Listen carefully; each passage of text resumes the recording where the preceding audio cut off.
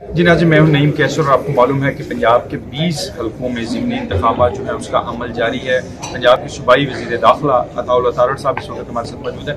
अता साहब, ये फरमाइएगा कि अभी तक लॉ एंड ऑर्डर की सिचुएशन पंजाब में कैसी है और कितनी कार्रवाइयाँ की गई लॉ इन्फोर्समेंट को रखने के लिए और कितने लोगों को अरेस्ट किया गया देखिए, मैंने पहले ही दफ़ा एक सौ चवालीस असले के हवाले से लगा दी और असले की नुमाइश असला रखने पर पाबंदी आयद की थी उसके तहत असला भी कब्जे में लिया गया है, गिरफ्तारियाँ भी अमल में आई हैं। पिछले डेढ़ महीने से पंजाब को असले से पाक करने की कैंपेन जारी है। तो इस जमन में आज भी लाहौर में शिकुपुरा में लोधरा में मुख्त मकाम में लोगों को गिरफ़्तार भी किया है, असला भी कब्जे में लिया है। तो ये जो असले से पाक इलेक्शन है, यही पुरमन इलेक्शन होगा तो इसलिए हमने इस बात को इंश्योर किया है। इसके अलावा सिक्योरिटी डिप्लॉयमेंट अच्छी है अमन अमान के हालात बहुत अच्छे हैं। इक्का दुक्का वाकत के अलावा कहीं पर कोई बड़ा वाक्य पेश नहीं आया।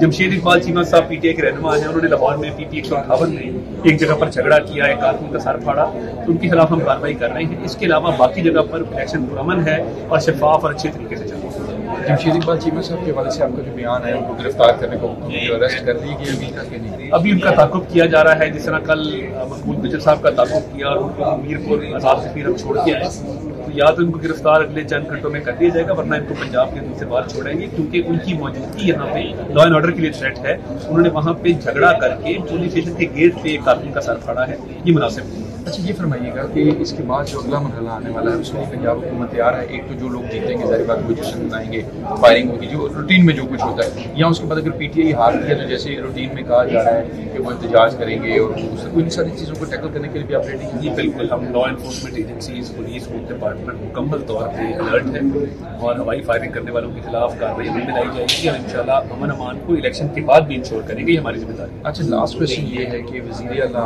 हमजा शहबाज साहब कामयाब हो जाएँगे क्योंकि जिस किस्म की इन्वायरमेंट बनाई जा रही है कुछ उसकी फ़ोटो दी जा रही है कुछ मीडिया पुस्तक जा रहे हैं। उस हवाले से आप क्या कहेंगे कि कैसे इसको इंश्योर करेगी पी एम एल एन इंशाल्लाह बिल्कुल इस हवाले से हमें कोई शक नहीं है। अभी रियासुद्दीन साहब से मेरी बात हुई शरद पुरी साहब से जब रबता कर रही जल्द वापसी हो जाएगी जमात में। मेरे लिए बिल्कुल हैरान परेशान कुछ नहीं है। हम अपने तमाम मेम्बरान से रबते में हैं और इंशाल्लाह मुस्लिम लीग नून अपनी majority maintain thank you so much जी बड़ी मेहरबानी जी आपने सुबह दाखिला तारड़ साहब उनका ये कहना है कि अमनोमान भी बरकरार रहेगा और उसके बाद पी एम एल एन ही पंजाब में हुकूमत भी बनाएगी और हमजा शहबाज ही वजी अला पंजाब होंगे के साथ अपने मेजबान नहीं कर सकते।